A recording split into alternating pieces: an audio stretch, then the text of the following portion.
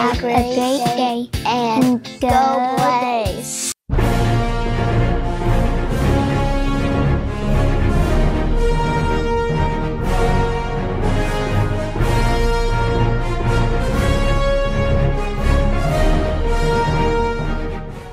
Good morning, I'm Avery Reamer, and this is your Blaze Bulletin. Tomorrow, the Blaze play at Riverdale in the second round of the TSSAA football playoffs. Be there to cheer on the Blaze as they move on in the postseason to take on the Warriors for the Backyard Brawl Part 2.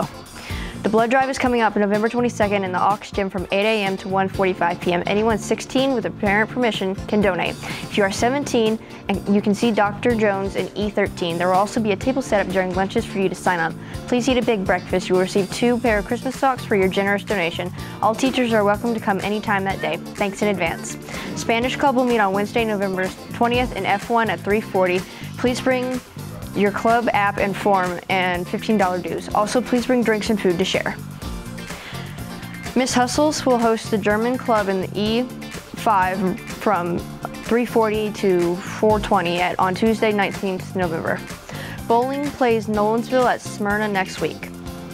Wrestling plays at Blackman November 16th at the Blackman preseason. They also have a home match on December 12th as well as December 17th. Boys basketball um, first home game in December 3rd um, against Beech. Girls basketball first home game is December 3rd against Beech.